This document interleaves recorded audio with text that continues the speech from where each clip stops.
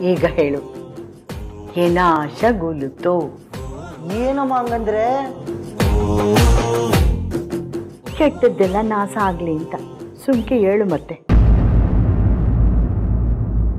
ಯನಾಶ ಗುಲತ್ತೋ ಯನಾಶ ಗುಲತ್ತೋ ಯನಾಶ ಗುಲತ್ತೋ ಯನಾಶ ಗುಲತ್ತೋ ಯನಾಶ ಗುಲತ್ತೋ ಯನಾಶ ಗುಲತ್ತೋ ಯನಾಶ ಗುಲತ್ತೋ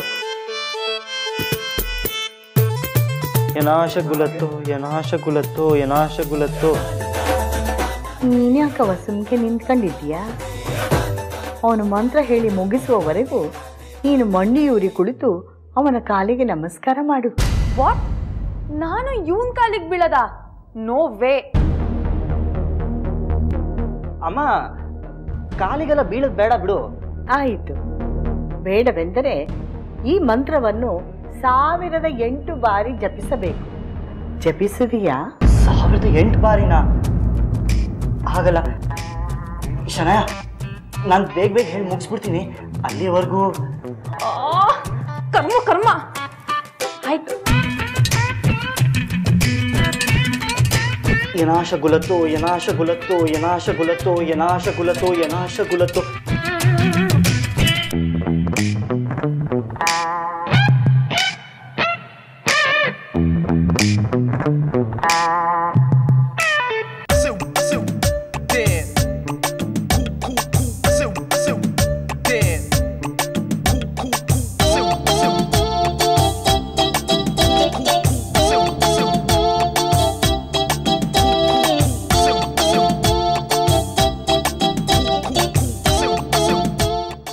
Seu. ಅಮ್ಮ ಈಗ್ಲಾದ್ರೂ ನಾವು ಮಲಗ್ಬೋದಾ?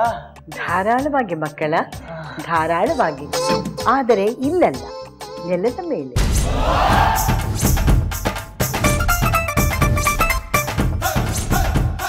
ಅಮ್ಮ ನೆಲದ ಮೇಲ. ದಿಸ್ ಇಸ್ ಟೂ ಮಚ್ ಮಚ್ಚು ಮಚ್ಚೆ. ನನ್ನ ಸೊಸೆ ಬದುಕು ಬಂಗಾರ ಆಗಬೇಕು ಎಂದರೆ ನಾನು ಮಚ್ಚು ಹಿಡಿಯಲೇಬೇಕು. ಅಮ್ಮ!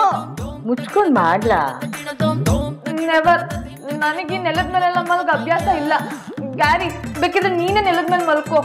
ನೋಡವ್ವ ಸೊಸೆ ನೀನು ನೆಲದ ಮೇಲೆ ಮಲ್ಕೊಳ್ಳಿಲ್ಲ ಅಂತಂದ್ರೆ ನೀವಿಬ್ರು ಬಾಳ್ವೆ ಮಾಡೋಕ್ಕಾಗಲ್ಲ ಅಂತ ನಮ್ಮ ಸ್ವಾಮೀಜಿ ಹೇಳಿದ್ದಾರೆ. ಯಾವ ಸ್ವಾಮೀಜಿ ಅಮ್ಮ ಹೀಗೆಲ್ಲ ಹೇಳಿರೋದು? ಶ್ರೀ ಶ್ರೀ ಶ್ರೀ ಶ್ರೀ. ಸುಸುಮಾನಂದ ಸ್ವಾಮೀಜಿಗಳು.